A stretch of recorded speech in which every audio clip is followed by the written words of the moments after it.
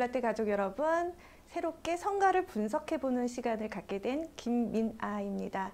오늘부터 어, 유빌라테 41집을 가지고 한 곡씩 이론적으로 접근을 해보려고 합니다. 조금이나마 여러분의 찬양에 도움이 되기를 바랍니다.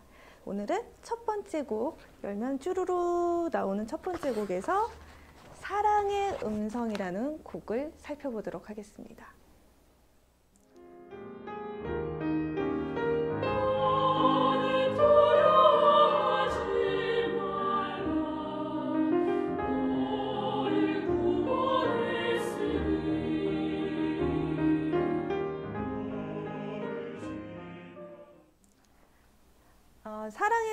음성은 최기웅 목사님께서 작곡하신 곡입니다.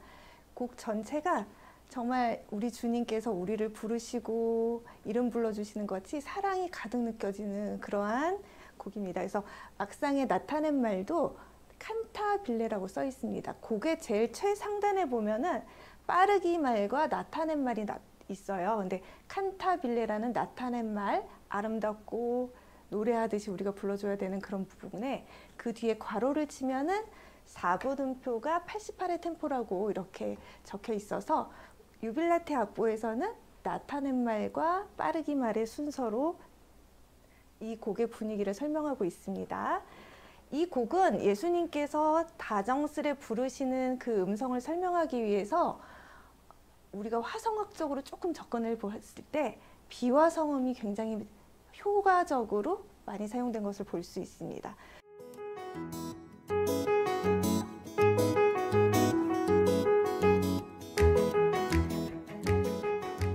대표적인 비화성음이 보조음이라고 불리는 어, 피아노에 지금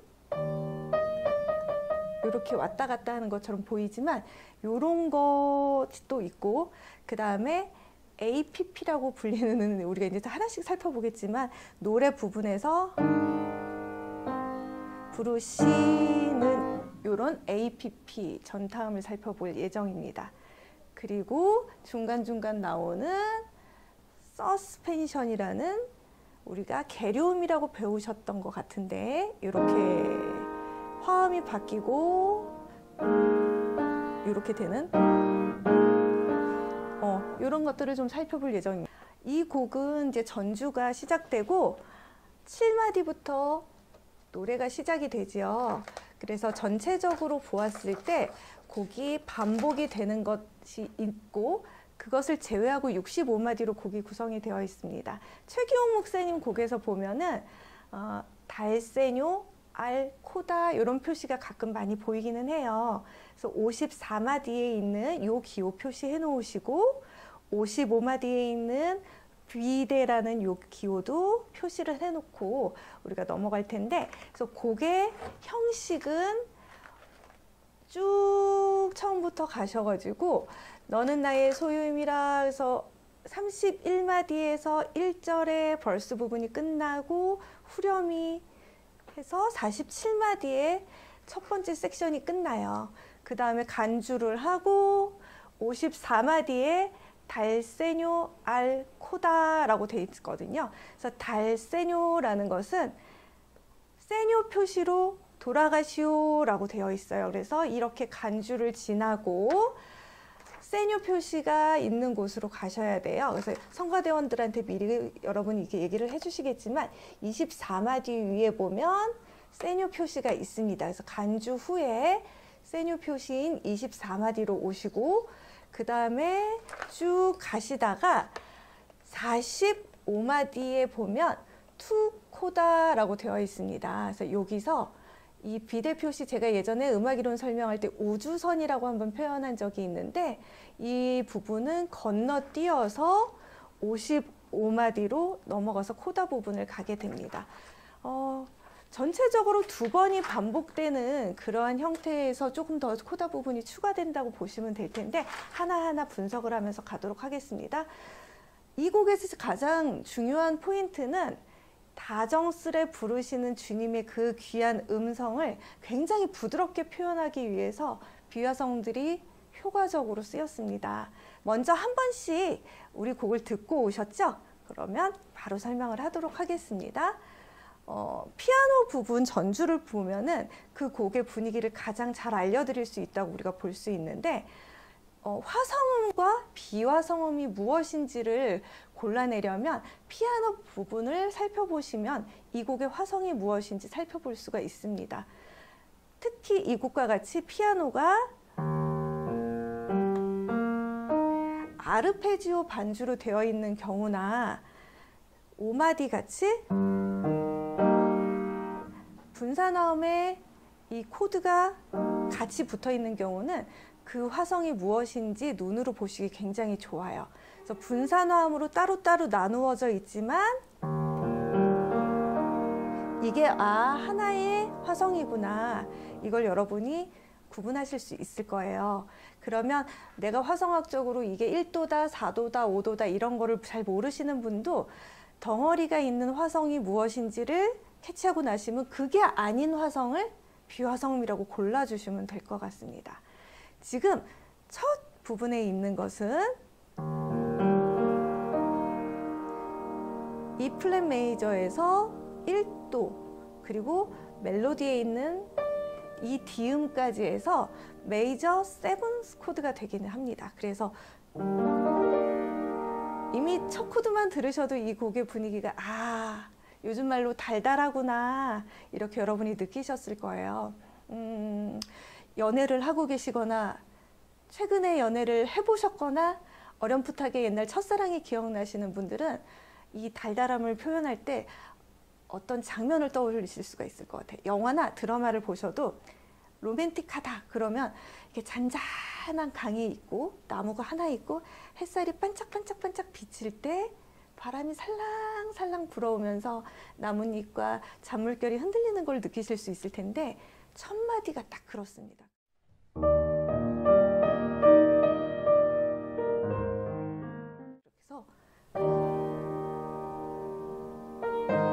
이렇게 간단한 화성을 살랑살랑 반짝반짝 비춰주게 됩니다. 그래서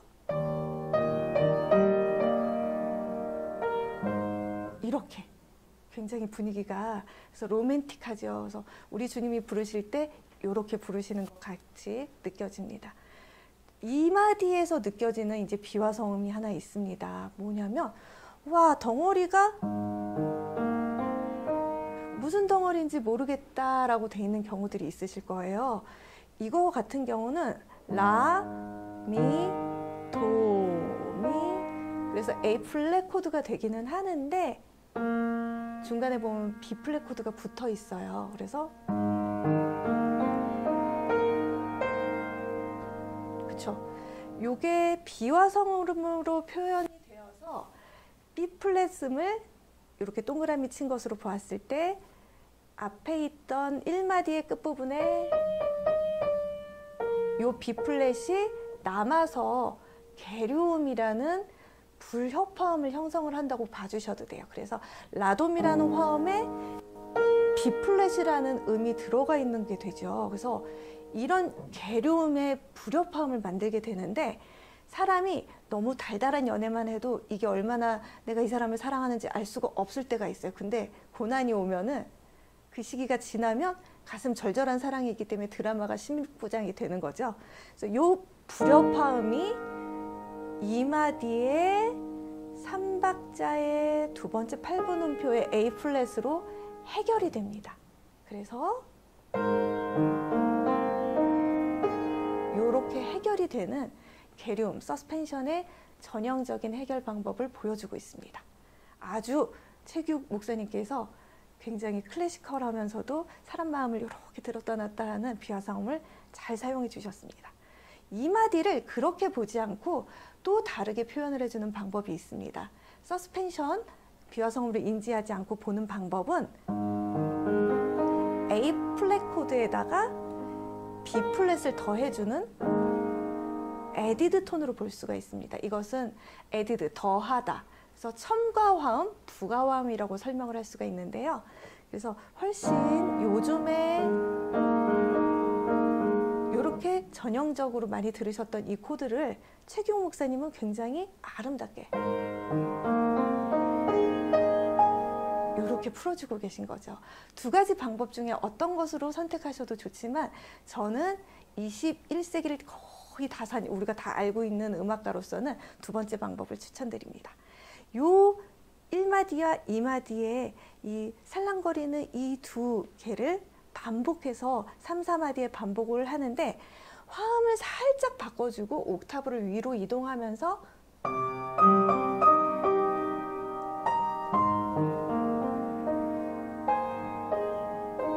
강조를 해준 다음에 역시 마찬가지로 해결을 해주고 전주를 조용한 분위기로 마무리를 해주고 있습니다. 노래 부분을 들어가시면 이 전주에서 나왔던 비화성음이 그대로 쓰이는데 하나의 비화성음이 더 추가가 됩니다. 먼저 첫 7마디의 노래 부분은 살랑살랑 반짝반짝이 느껴지시죠? 그럴 때 반주에서는 그래서 제가 말씀드린 것처럼 왼손의 아르페지오 반주를 보았을 때 E 플랫 코드가 하나의 코드인데 오른손에 보면 볼 수 없는 코드가 하나 들어있어요. 음이 F 음이 들어가 있죠. 이렇게 이상한 비화성음이 하나 들어있어요. 그리고 노래 부분에 8마디를 부르시면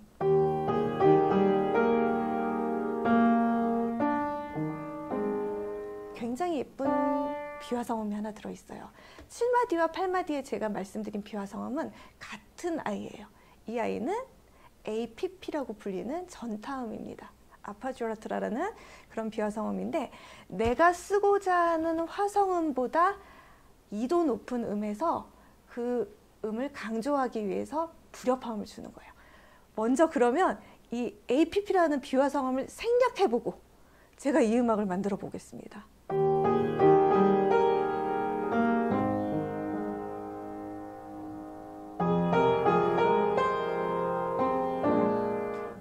음악이 되는데 APP라는 음을 넣었을 때에 불협화음에서 화성음으로 해결되는 걸 한번 볼게요.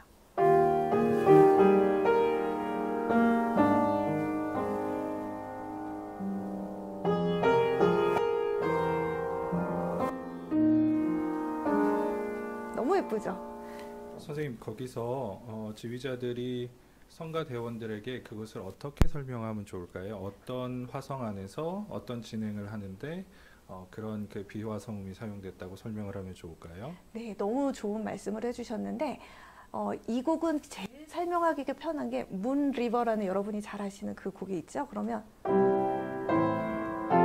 간단한 화성 안에서 이렇게 비화성음을 추가해주면서 강조를 해주는 부분들이 생기는데 이 전타음을 잘 표현하기 위해서는 앞부분을 슬쩍 눌러주셔야 됩니다. 슬쩍 눌러주시는데 어떨 때는 어, 전타음 앞에서 타 때리고 나오는 음이기 때문에 액센트를 찍어주거나 뭐 폴테나 스폴잔도를 좀 강조하는 경우가 있는데 이 곡은 곡의 전체적인 분위기상 이 APP가 약간의 테너톤만 주셔도 돼요. 지금 어, 질문을 너무 잘해 주셨는데 이 APP가 두 마디에 한 번씩 멜로디에서 이렇게 쓰여요. 그런데 8마디, 10마디, 12마디에서 어, 12마디는 딱히 APP보다는 이제 뭐 경과음이라고 표현하실 수 있겠지만 같은 류의 비화성이 되다가 14마디의 알토에 이르러서 정점을 찍게 됩니다. 알토에서 그 음성 들리 하면서 해결이 정확하게 자기 회, 어, 화음 안에서 이루어지는데 이때 피아노 반주에 보면 숨어 있는 음이 또 생기게 됩니다. 그래서 이 작곡가는 두 마디 단위로 이 APP를 주기는 하는데 이 14마디에 이르러서 반주와 알토에서 부딪히는 이 음들을 한 박자, 세 박자, 4분음표와 점 2분음표 APP 구조가 아닌 2분음표 뒤에 해결을 하게 됩니다. 그래서 살짝 밀었다가 빠졌다가 살짝 밀었다가 빠졌다가 하는 어, 소위 밀당을 잘해 주셔야 되는 음악이죠. 그래서 지휘자님의 손끝을 잘 바라보시면 아마 이런 것들이 해결이 되실 수 있다고는 보는데 제 생각에는 너무 티나지 않게 해주셨으면 좋겠어요. 액센트보다는 화성이 갖는 불협화음의 앞부분만 살짝 줬다가 빼는 느낌 이렇게 주시면 좋을 것 같아요. 그럼 여기까지만 앞부분 한번 다시 들어보고 가실까요? APP의 사용을 한번 보십시다.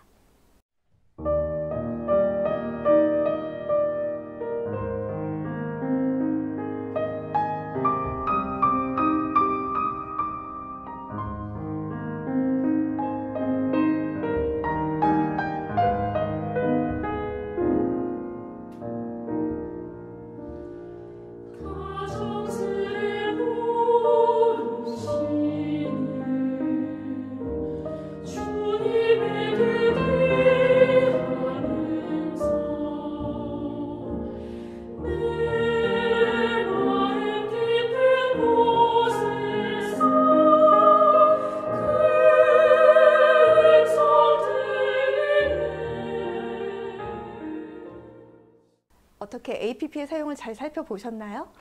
그러면 어, 여러분께서 보셨을 때 다정스레, 사랑스레 이렇게 보일 때 이 산들산들 바람과 같이 보이는 비화성음이 무엇이냐 물어보시면 이것은 보조음이라고 말씀을 드렸어요. 보조음은 화성음과 똑같은 화성음 사이에 다른 음이 들어가는데 도약이 되고 점프가 되는 음은 안 돼요. 단지 이도가 또는 아래로. 그래서 위아래 이도만 살랑살랑 움직일 수 있는 게 보조음입니다. 그래서 굉장히 부드러운 효과를 나타냅니다.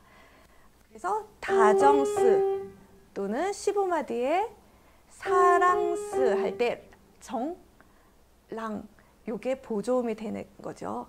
그러면 사랑스레 지금 제가 15마디를 예로 들고 있는데 레라는 이 비와 성음은 경과음이라는 것입니다. 경과음은 어, 8가지의 비와 성음 중에서 보조음과 마찬가지로 도약을 하지 않는 아주 부드러운 비와 성음입니다. 그래서 스와 부, 솔과 시 사이를 순차적으로 도약 없이 지나간다. 그래서 경과 라는 패싱톤이라는 비화성음인데 이것 역시 굉장히 부드럽죠. 그래서 이 곡의 벌스 부분에서는 이렇게 작곡가에서 의도적으로 보조음과 경과음을 사용하여 굉장히 부드럽고 사랑스레 불러주시는 주님의 그 귀한 음성을 표현을 했습니다. 그래서 이 벌스 부분에서 예수님의 음성을 계속 부드럽게 표현을 하면서 두 마디에 한 번씩 전타음으로 강조해 주던 이 비화성음은 이제 후렴 부분에 넘어가서 어 떠한 말씀을 해주시는지 따옴표가 마치 들어간 것과 같은 어, 가사를 가지게 됩니다. 너는 두려워하지 말라. 너를 구원했으니. 이 부분을 보시면 앞부분에 비해서 비교적 도약이 있는 부분들이 있어요.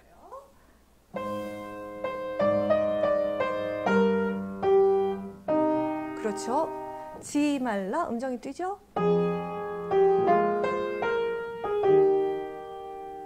이렇게 강조하고 싶은 부분들이 있을 때 지금은 단호하게 음정을 도약을 하면서 썼고 너는 두려워하 요 사이에는 역시 보조음과 경과음으로 곡을 부드럽게 처리하여 넣었습니다. 뒷부분에도 마찬가지로 너를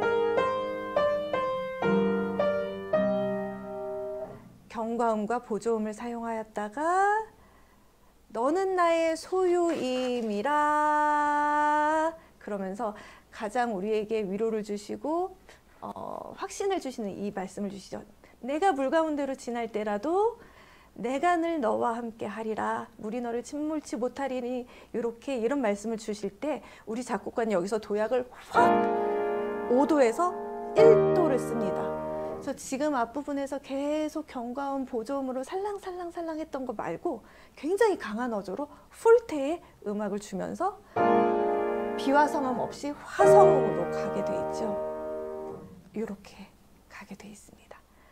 그리고 35마디에 이르러서 제일 이 곡에서 음, 제일 어, 달달한 리듬이라고 할까요? 제일 쪼개어진 리듬인 내간을 너와 함께 이렇게 갑니다. 내간을 그러면서 여러분이 표현하실 때는 내가 가 여기서 내가는 우리 주님께서 너 우리와 함께 한다는 걸 강조하기 위해서 작곡가가 이 짧은 리듬가에 액센트가 하나씩 꾹꾹꾹꾹 들어가게 해줬어요.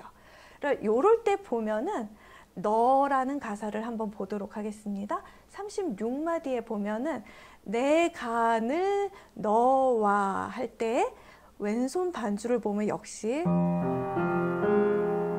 F 마이너 코드로 화성을 볼 수 있습니다. 그러면 여기서 노래에서 B 플랫은 비화성음이 되는 거죠. 비화성음인데 어떤 비화성음이 되냐면 앞에 내 간을 C7 코드의 7음을 그대로 가지고 있는 거예요. 계속 이 음을 머물게 잡고 있다가 그 다음에 너와에서 너와 라고 강박에 긴장감을 주게 하고 해결을 해줍니다. 이런 거를 계류음 서스펜션이라고 이야기합니다. 계류음도 전타음과 마찬가지로 이도 하행해주는 부분입니다. 그렇게 해서 여기서 작곡가는 가장 중요한 가사에 내간을 너와 이렇게 사용을 하게 됩니다. 이것은 44마디에도 마찬가지로 주어지게 되고 이 B 플랫과 A 플랫은 마치 46마디의 결론을 내는 가사인 내가 너를 보호하리라 라는 데서도 마찬가지로 내가 이렇게 하면서 B 플랫 A 플랫 내가 이렇게 해서 B 플랫이 비화성으로 사용하게 되는데 음정은 같지만 여기는 앞에 있는 45마디 끝이 라 A 플랫 음정이기 때문에 이거는 계류음이라고 보는 것보다는 APP 우리가 아까 배웠던 전타음이라고 봐주는 게 좋을 것 같아요.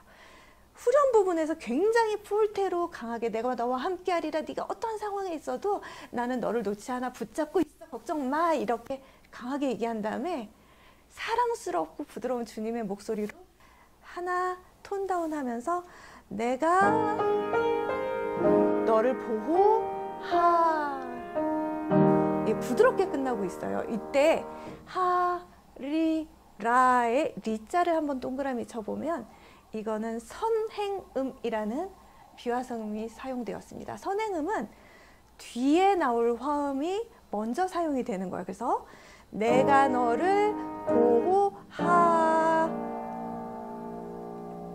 이런 화성으로 해결이 될 건데 하 리 뒤에 나오는 이 플랫 음정이 먼저 나와서 ANT 선행음 이렇게 해주시고 해결이 됩니다. 굉장히 부드러워졌죠. 네, 지금까지 1절 부분 살펴보았는데요. 이 같은 패턴이 전주를 지나고 중간에 세뇨 표시부터 돌아서 뒤에 마무리하고 코다로 마무러지게 됩니다. 이 곡에서 작곡가가 사용한 비화성음은 너무나 곡의 가사와 음악과 또 비화성음의 용도 효과적으로 잘 사용이 된 예라고 볼 수 있어서 제가 이 곡에서는 비화성음을 중점적으로 다루어 보았습니다. 여러분도 어, 대원님들과 같이 찬양을 나눌 때 비화성음을 몇 개 이렇게 찝어주고 가시면 더 부드러운 부분은 부드럽고 액센트와 테누토가 붙어야 되는 부분은 더 강조하면서 효과적으로 성가 찬양을 하실 수 있을 것 같습니다. 감사합니다.